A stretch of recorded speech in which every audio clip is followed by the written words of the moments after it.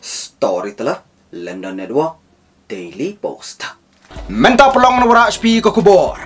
Ya tu lupa Presiden Barim jengka Rusia Medvedev. Bansa kelon ke Amerika ya ke jinglong klik ya ke berthei. Tong ini sengap. Ong Presiden jengka Rusia Barim. Dmitry Medvedev baka jengkut jengka jinglong klik ke Amerika ke berthei. Kalajan.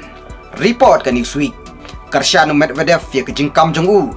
Daka bakadau ya shpau teli kidau. Halor ke A ke bajia hadin ki anti Rusia sanction.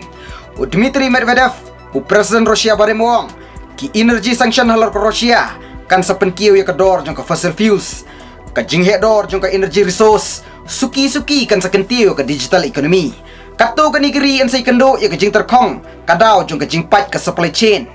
Ke jing ya kun sipai bomla ban resolve kan sanang kata shishu ki klam thamai kin sami ki international institution kin sadu ke jing dei namar bakimla ban lei ya ke institution ha ukraine ke jing dei lok international batmai halor kan nongrem kriteria badan kam e en satau en satau ya kan new world order ka jinglong pedeng ka amerika ka pertei kan sakelon ong presiden berim jong ka rusia u dmitry medvedev u medvedev mentau bat ya kepesian jong deputy chairman of russia security council jong ka rusia yau medvedev la shajiet kum presiden jong ka rusia husnam arzar pra hakapor menbau putin udai prime minister.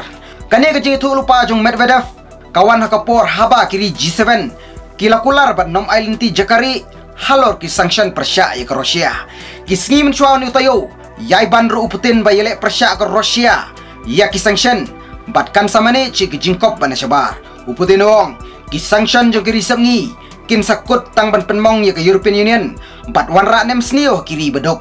Kadau jong ki sanction ran ke yok ke kot jong ke Rusia da khat ar persen hanu snam arjar puar ong ka report ka report gong khat ar persen kade ke jinghiar bahe haka gross domestic product hadi un snam kat kendai spak kendai puai ka jingkelon no jong ka Soviet Union Kuble Shibun Story telah London Network Daily Post.